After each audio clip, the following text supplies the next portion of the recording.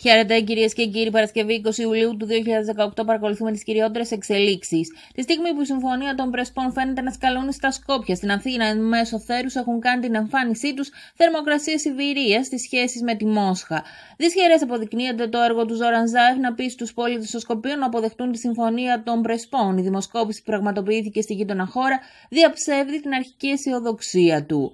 Παρ' όλα αυτά, συνεχίζονται οι κυβερνητικές προσπάθειες να τηρηθεί το ευρωνατοϊκό χρονοδιάγραμμα μέσω της εφαρμογής συμφωνίας των Πρεσπών. Την ίδια στιγμή, μετά την αντίδραση της Μόσχας, αλλά και τη μεγάλη διάσταση που έλαβαν οι δηλώσεις ΖΑΕΦ για τη δράση των Ελλήνων επιχειρηματιών που υποκινούσαν διαμαρτυρίες στα Σκόπια κατά της συμφωνίας των Πρεσπών, ο Σκοπιανός Πρωθυπουργός χαμηλώνει αισθητά τους τόνους. Δήλωσε ότι δεν χρειάζεται οι αρχές της χώρας να προσκομίσουν έγγραφα στην Αθήνα για τη δράση των Ελλήνων επιχειρηματιών. Στην Αθήνα όμως τα γεγονότα φαίνεται να έχουν πάρει άλλη τροπή.